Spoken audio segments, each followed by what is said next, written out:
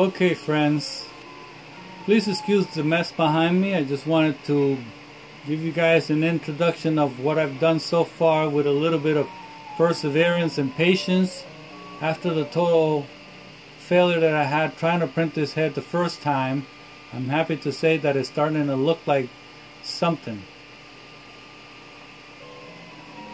Got all the details done, the head is done, and this thing is quite heavy. It's about two pounds almost.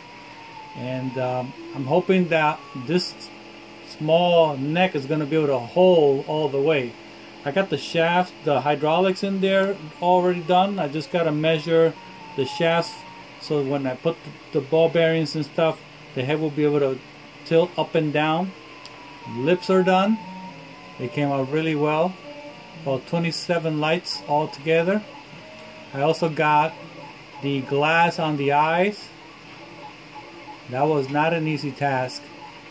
It kept moving on me and I kept messing it up trying to glue them. But finally, after the second try, I managed to get two pairs in there flawlessly. I also did some custom detailing to the iris itself. If you notice, you can see the 3D effect of the iris. That was all done freehand by hand.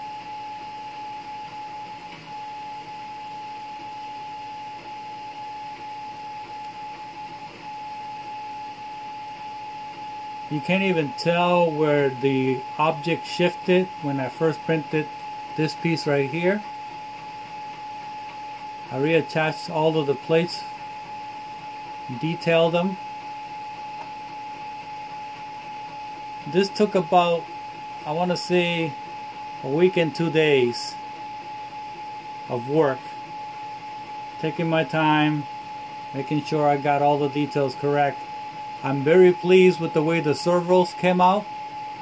I had to use different servos than the one that I seen other people use. And I also had to cut into the nose a little bit to make them fit.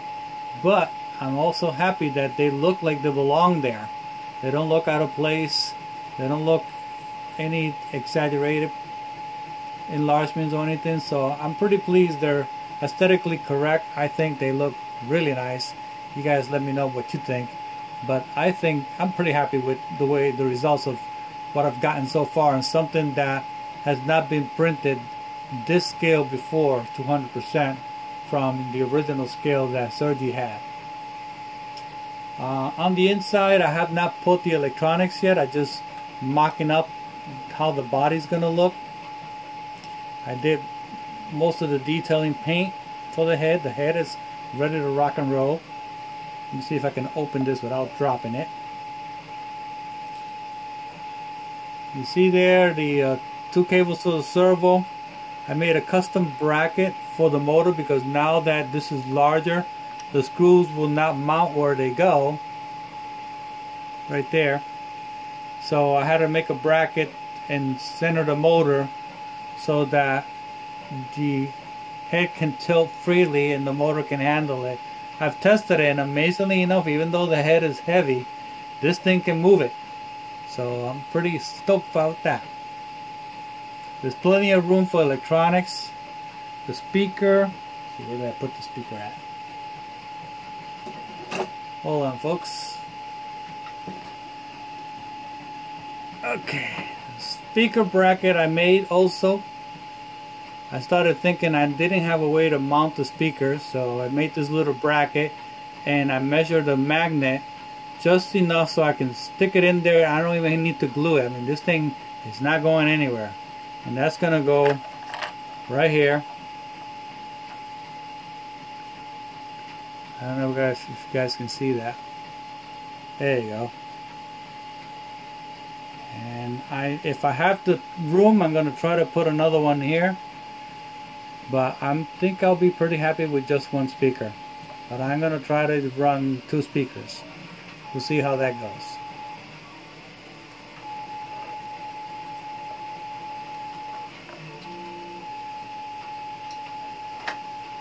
Take another look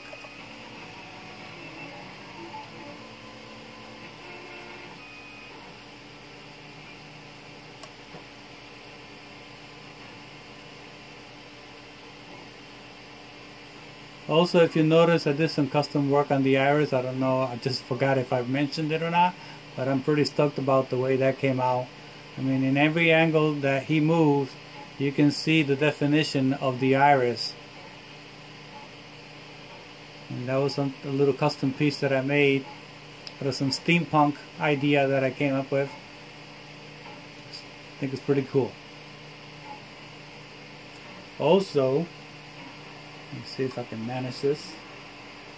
I managed to print the bottom portion of the, the, the skeleton body. This thing took about six days to print. I mean, this thing is huge.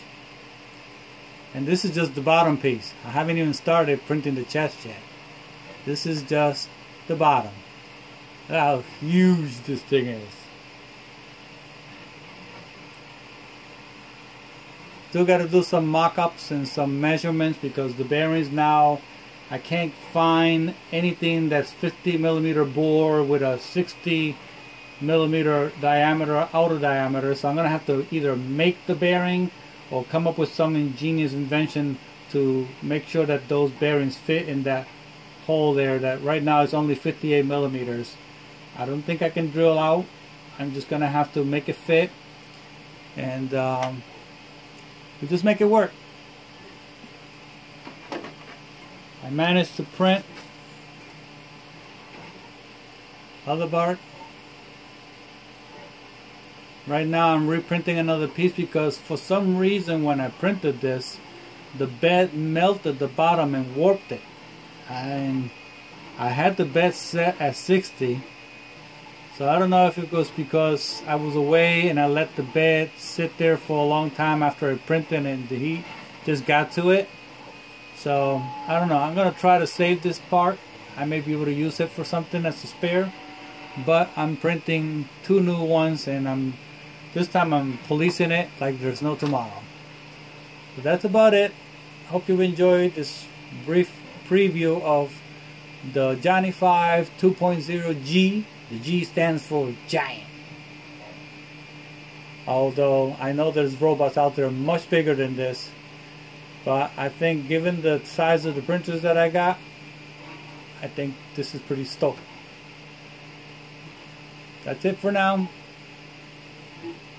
Hope you enjoy.